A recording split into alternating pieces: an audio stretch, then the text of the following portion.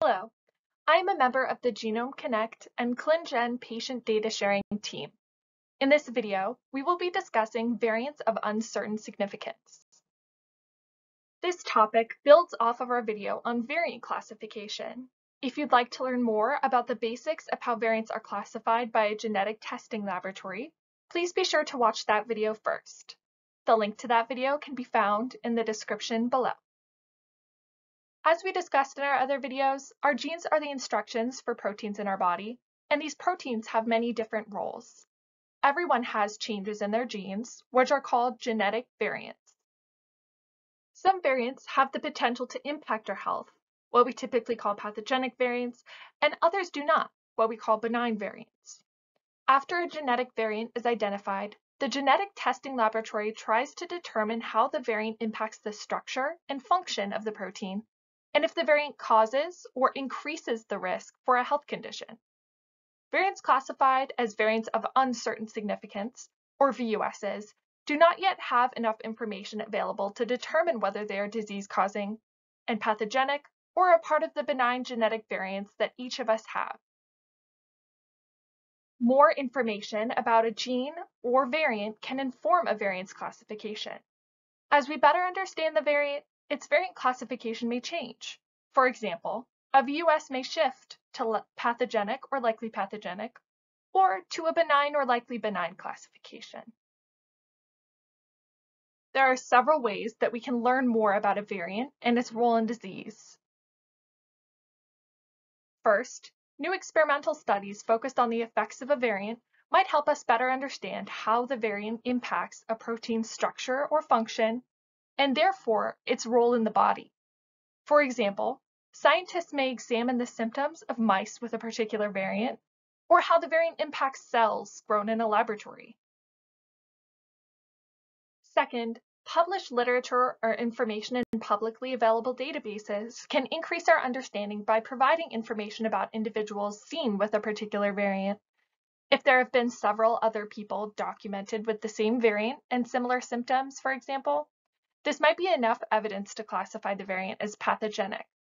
If the same variant has been seen in many unaffected members of the general population, this may lead to a variant classification of benign.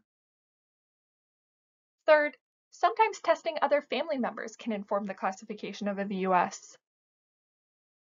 Cascade testing is a kind of follow-up genetic testing for relatives of someone who received a genetic test result. In this testing, Close relatives with or without a shared health condition submit samples for genetic testing to see if they share the same variant. This can tell us whether a genetic change is inherited or whether it's brand new in an individual, which is called de novo. In some cases, it may also clarify a VUS's classification. Fourth, for some variants, additional information about a patient's symptoms or features may help us better understand that variant. For example, some genetic variants result in changes that could be measured in a patient's blood, tissue, or elsewhere in the body. Some genetic changes may also cause very specific symptoms. By looking for these specific changes and symptoms, we can sometimes better understand a VUS and whether or not it is impacting a person's health. Participation in Genome Connect is one example of how individuals can improve our understanding of variants. With participants' consent, we securely share de-identified genetic test results and relevant health information with the National Center for Biotechnology Information's ClinVar. Sharing this information with ClinVar makes this de-identified information publicly accessible to researchers, laboratories, and other healthcare providers. On the screen, you can see an example of one of these submissions. To learn more about ClinVar, there is an informational video made by our Genome Connect team linked in the description of this video. Because we are constantly learning more about genetics, variant classifications can be updated over time. It's important to be in contact with your doctor or genetic counselor.